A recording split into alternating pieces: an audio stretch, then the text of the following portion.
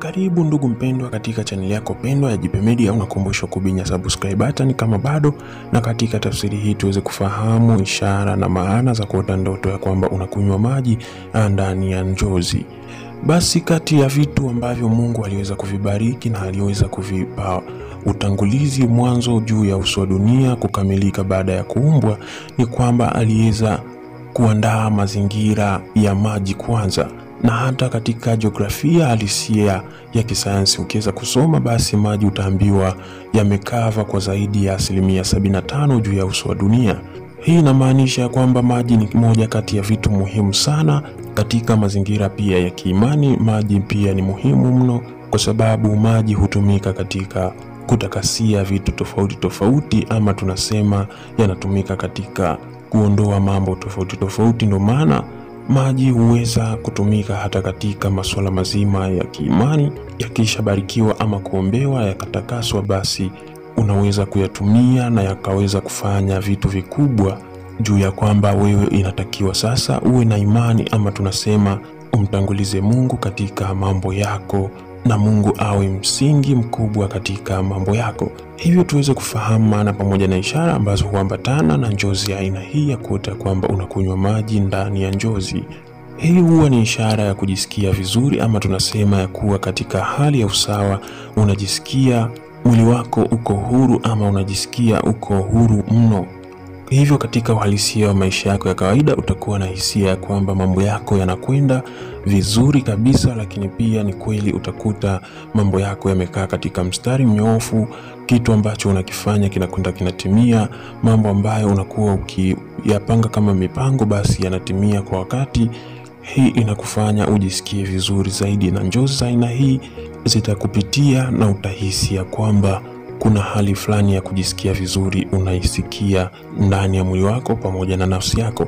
Lakini pia huwa ni ishara ya kuwa na mazingira safi. Hivyo kama ni mtu ambaye una mazingira safi, basi njozi ya aina hii pia itakupitia, hii ikiashiria ni kwamba mambo yamekaa sawa na hakuna jambo baya ambalo lipo kwa wakati huo. Hivyo kikubwa na kimsingi wewe ni kuendelea kupambana na maisha haya ya kila siku, kuendelea kutafuta riziki hapa na pale, kwa sababu Mungu Mwenyezi Mungu mwingi wa rehema na upendo, yeye yuko kwa ajili yako kupambania kuhakikisha kwamba unafika kule ambako unahitaji kwa wakati tena sahihi kabisa, na kuhakikisha anakuvusha hapo ambapo unatamani siku moja uweze kuvuka na kwenda mbele zaidi.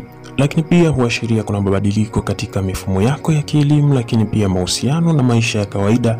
Hivyo inachotakiwa ni kuendelea kuweka imani na kumtanguliza Mungu katika mabadiliko hayo, aweze kukusimamia na aweze kukuandalia mapito mema, basi ili uweze kwenda kupita kiurahisi na kufanikisha jambo lako kwa wakati pindi ambapo unahitaji.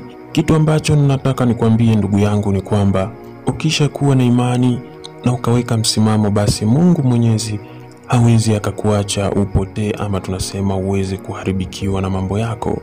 Hivyo yeye atanyosha mapito na kuhakikisha kwamba unapita sehemu ambayo ni salama salimini kabisa, na hata unapokwenda kusimama juu, unataka kufanya mambo yako binafsi, basi yeye anatunguliza baraka zake na zinakwenda kufanya kitu katika maisha yako ya kila siku. Utajikuta ni mtu wa kufurahia maisha lakini huwa ni ishara ya kutafuta suluhu juu ya matatizo ambayo yanakukumba. Inaweza ikawa ni changamoto za hapa na pale, ama inaweza ikawa ni mambo tofauti tofauti yanakukumba. Hivyo ni dalili nzuri ya kwamba suluhu inakwenda kupatikana. Hivyo katika njozi utajihisi ama tunasema utakuwa unaona unakunywa maji na unajihisi ile kiu ambayo ulikopo nayo inakwenda kukata. Lakini hii huwa ni ishara pia ya kuwa tayari na kufanya mambo makubwa ambayo umekuwa ukiaridhia kuyafanya kila siku, ama pia unakuwa umewekea mipango kuja kuyafanya mbeleni. Hii inaashiria ni jinsi gani basi nafsi yako iko tayari, ama tunasema moyo wako umeridhia kuweza kufanya hayo mambo kwa wakati sahihi, lakini pia katika hali ya jitihada kubwa. Hivyo kinachotakiwa basi, ndugu mpendwa, ni kuhakikisha mambo hayo unayatimiza kwa wakati, huku ukiendelea kupambania kombe ama tunasema ukiendelea kupambania nafasi yako ambayo unakuwa ukihitaji kila siku kuweza kuitimiza katika jamii na kuweza kuweka mambo sawa kabisa na yakakaa kiuburudani zaidi na ukaweza kuenjoy maisha yako ya kila siku.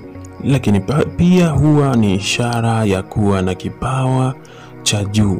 Hivyo ndani yako unaweza ukawa na kipawa kikubwa sana, hivyo kipawa hicho kinahitaji kiweze kubarikiwa na kiweze kwenda kutumika kufanyia jambo fulani. Hivyo ni vizuri sana kama utakuwa ni mtu wa imani, basi ukaweza kumwomba Mungu aendelee kukubariki, lakini pia ukamtafuta nabii ambaye atakuwa na uwezo mzuri wa kukupaka mafuta, basi uweze ukatumia kipaji chako ulicho nacho katika hali ya usalama zaidi, lakini pia uweze kukingwa na husuda za walimwengu ama tunasema husuda za watu wabaya ambao wanakuwa wakikuzunguka na wakitamani kukufelisha juu ya mipango yako ambayo umekuwa ukitamani kuitimiza kila siku lakini huashiria siku za usoni kutakuwa na mambo mema ambayo yatakwenda kutimia. Hivyo ni kuendelea kupambana na kuendelea kuweka jitihada, huku ukimwomba Mungu ya kwamba aendelee kukutangulia katika safari yako ya mafanikio ambayo unatamani siku moja ukifanikiwa. Basi na mimi hapa, ndugu mpendwa, usiweze kunisahau kwa sababu na imani ukifanikiwa wewe, basi na mimi nitakuwa nimefanikiwa, nimefikia katika levo fulani. Hivyo kufanikiwa kwako, basi na mimi hapa nitakuwa nimepiga hatua kubwa katika maisha. Hivyo usiweze kunisahau, basi hata nikumbuke, chukua hata namba ya simu hapo kwenye description, kisha utanipigia simu, uweze hata kunipa ya soda. Utasikia hapo kuna mtu anasema kwamba eh, jamaa umeshaanza masuala ya siasa.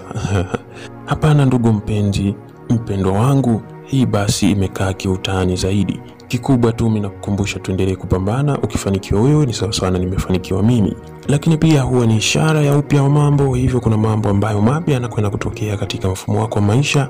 Hivyo mambo haya yatakuwa yamebeba kitu kikubwa sana na kitu cha muhimu zaidi. Hivyo unatakiwa sasa kuweka mambo yako sawa ama mipango yako sawa kabisa, huku ukiendelea kuipambania juu ya kwamba tayari umeshapewa taarifa kwamba kuna mambo ambayo yanakwenda kukaa sawa, na mambo hayo yatakuwa ni mapya yenye kubadilisha mfumo wako wa maisha, lakini pia huwa ni ishara ya kuhitaji kupumzika zaidi.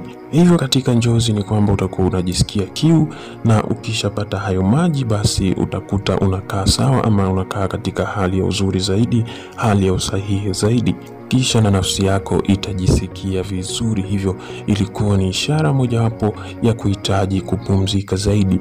Niseme asante sana ndugu mpenzi na mpendwa kwa kuwa nami katika tafsiri hii. Basi tukutane katika tafsiri ijayo, tukiweza kufanya mambo kiubora zaidi na tukiweza kufanya chunguzi zaidi kuhusu ulimwengu wa njozi huku tukiendelea kupromosha tafsiri tofauti tofauti za hapa na pale. Hivyo kikubwa webinya subscribe button ili uweze kupata tafsiri zote ambazo zinakuwa zikitoka na kwa wakati sahihi. Asante sana na nikutakie kila la heri. Mungu akutangulie katika shughuli zako na akusimamie katika kila jambo ambalo unakuwa ukilifanya. Asante sana.